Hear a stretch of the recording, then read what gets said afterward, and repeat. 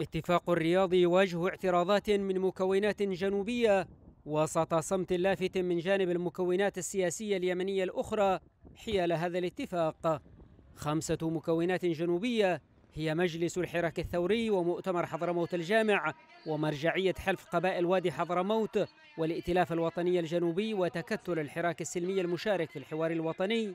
جميعها عبرت عن اعتراضها على آلية المشاورات التي حصرت القضية الجنوبية بين الحكومة والمجلس الانتقالي الموالي للإمارات.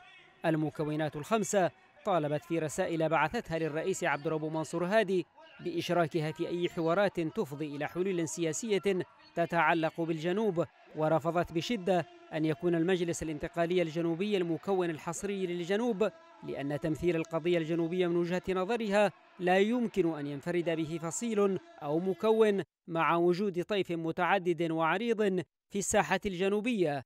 يأتي ذلك فيما ينظر المجلس الانتقالي الجنوبي لاتفاق الرياض باعتباره خطوة استراتيجية على طريق تحقيق مشروع المجلس وأهدافه المتمثلة في التحرير والاستقلال.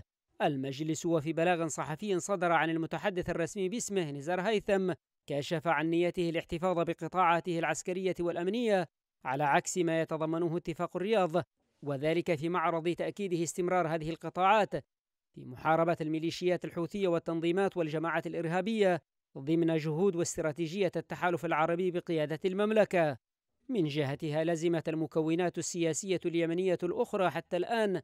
الصمت حيال هذا الاتفاق الذي يعيد إلى الأذهان الحالة ذاتها من المكافأة السياسية للإنقلابيين والمتمردين والتي سبق وأن أخرجت السلطة الشرعية من صنعاء كما أخرجتها من عدن.